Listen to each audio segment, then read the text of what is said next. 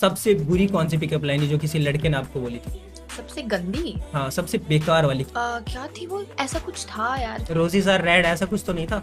नहीं नहीं नहीं, ये तो बहुत ज़्यादा गंदा है। इससे भी गंदा वाला है। मतलब इससे गंदा नहीं है इससे थोड़ा अच्छा है। अच्छा फिर ठीक है। The sky is blue my love is ये कोई लाइन हुई? ये क्या लाइन है?